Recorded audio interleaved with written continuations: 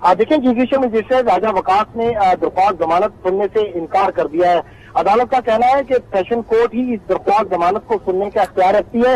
मुलजिम के वकील का कहना है मुलजिम के वकील कहते रहे कि हमें इस पर तहरीरी हुक्मनामा जारी कर दे, जिस पर जज का कहना था कि इस पर तहरीरी हुक्मनामा जारी कर देता हूँ। तो अब उन इस हवाले से तहरीरी हुक्मनामा भी जारी कर दिया गया है, जिसके बाद डिस्ट्रिक्ट कोर्ट ने जो जमानत की दरख्वास्त है, उसको एडिशनल सेशन जज फैजान हैदर गिलानी को पास कर दिया है। अब इस दरख्वास्त जमानत पर एडिशनल सेशन जज फैजान हैदर गिलानी अब से कुछ देर बाद समाप्त करेंगे। अब चूँकि नमाज़ जमा का वक्ता है, उसके बाद ही इस पर समाप्त होगी। तमाम इससे पहले जब दरख्वास्त जमानत दायर की गई थी तो राजा वकास जो थे मुतल जज जिन्होंने इनको जुडिशियल रिमांड पर भेजा। उनका उनका ये कहना था कि मुतल फोरम ही नहीं है। मैं इसको कैसे सुन सकता हूँ? तो लिहाजा काफ़ी देर तक इस हवाले से फैसला नहीं हुआ। तो बाद रजिस्ट्रार ऑफ़िस में उनके तहरीरी ऑर्डर पर जो है, दरख्वास्त, अब एडिशनल सेशन जज को मार्क कर दिए जी।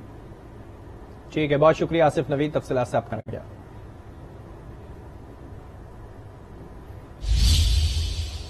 अभी आपको बरह